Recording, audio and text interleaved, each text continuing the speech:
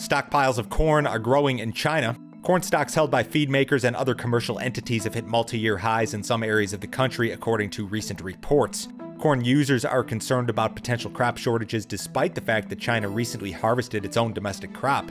Demand has improved amid growth in the country's hog herd, which had been decimated by disease during the last couple of years.